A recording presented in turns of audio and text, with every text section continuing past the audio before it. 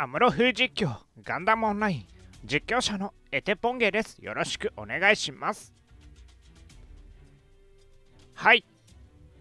えー、ガンダム1機えガンダム1機でえー、大規模戦に参戦して一度もやられずにやるあの伝説の伝説のあの大人気企画ガンダム1機でできなかったら売却するシリーズがなんと復活しました。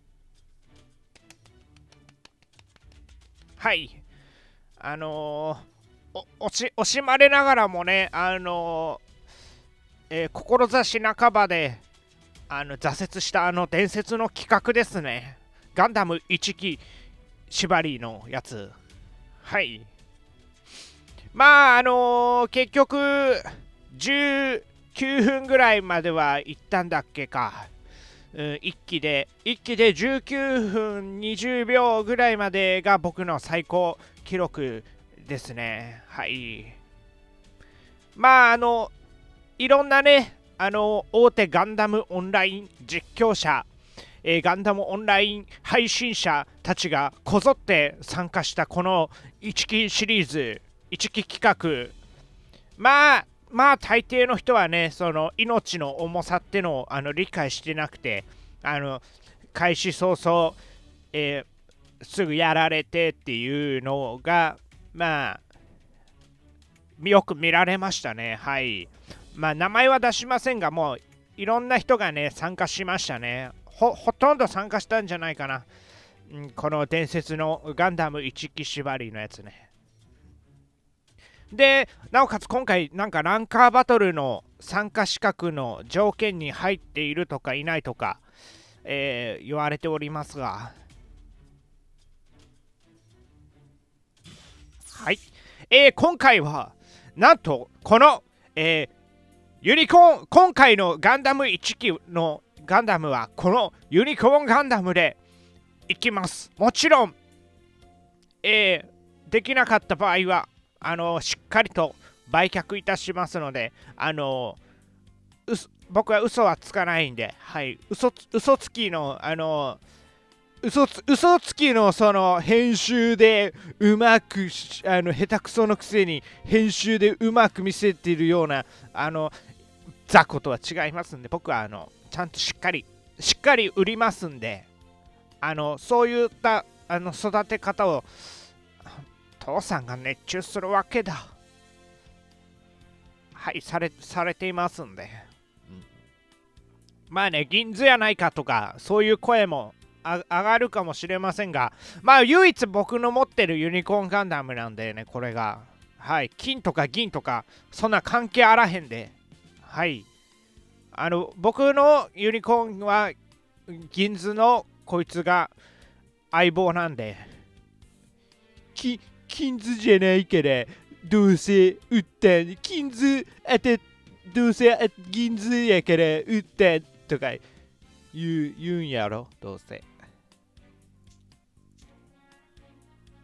はい。でねあのまあこいつはもうねもう今までまあ、使ってきた1期シリーズの中でもう一番コスト帯が高くてえー、っともうまあいやまあそうそうそう簡単にはそう簡単にはやられないはずなんですよ、こいつならば。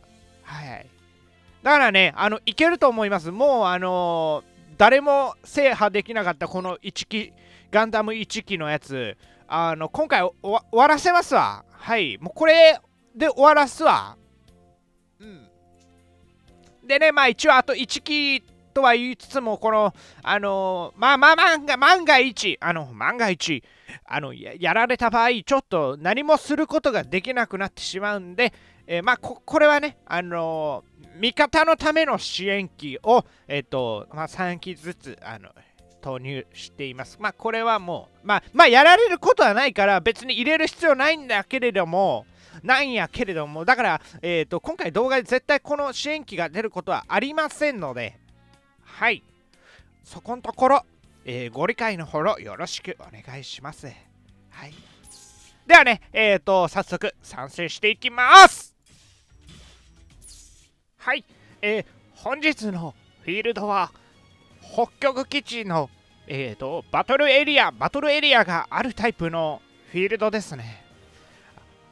まあ、この北極基地のバトルエリアのフィールド、これ、もうまさにこれガンダム1期、ガンダム1期シリーズにもってこいのフィールドですね、これは。これはもうほんと今日で、あの、終わらしますわ、もう。このシリーズ。まあ、復活して、まあ、早々なんやけども、あのー終わりますわこれこのシリーズまたちょっと新しいやつもう今のうちに考えときますわもう。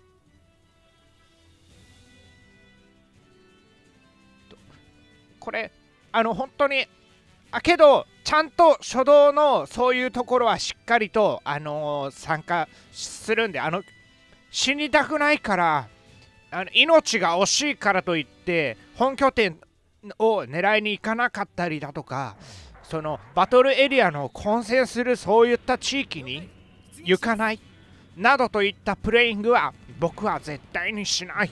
エテポンゲリハプティズムいきます！もうデストロイモードまであのデストロイモードまで耐えたらもうこれあの僕の勝ちですわこれ。デストロイモードまで耐える。まずはそこですね。そこですね。あギリ追いついた。8分ね。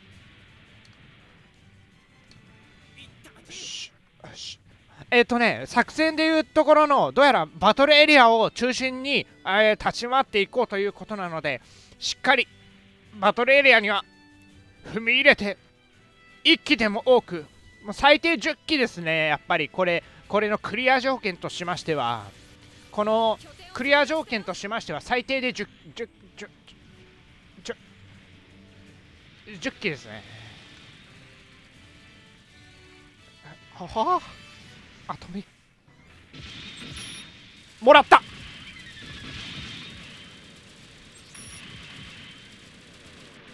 ああちょっと行こう行こう行こう行こう！無理無理怖い怖い怖い！